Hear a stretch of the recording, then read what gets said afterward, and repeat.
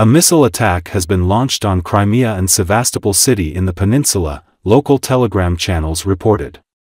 The strikes were reportedly carried out by the Ukrainian army with the use of Storm Shadow missiles on the Balaklavsky thermal power plant and the territory of the military unit.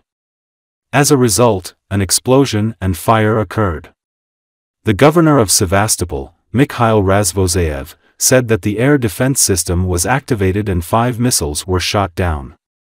He also said that several cars were damaged during the attack.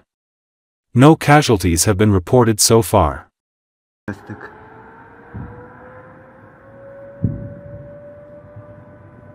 Вот только дошел звук. Нихуя себе. Ценный кадр.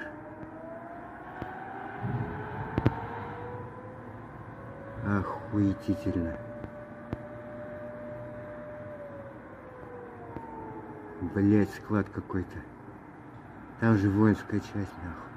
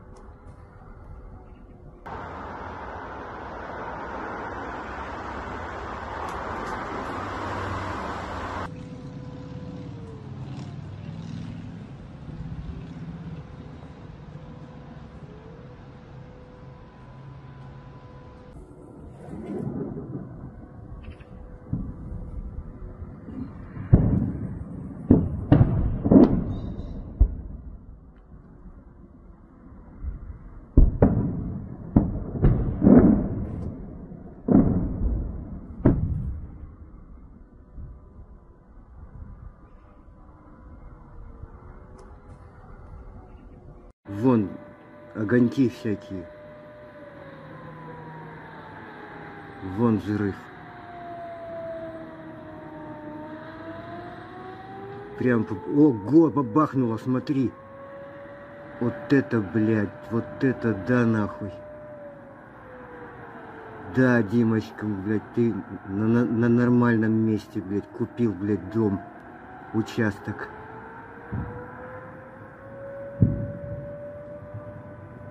Вот только дошел звук. Нихуя себе. Ценный кадр.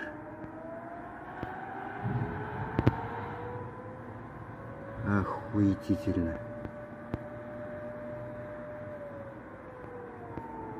Блять, склад какой-то. Там же воинская часть, нахуй.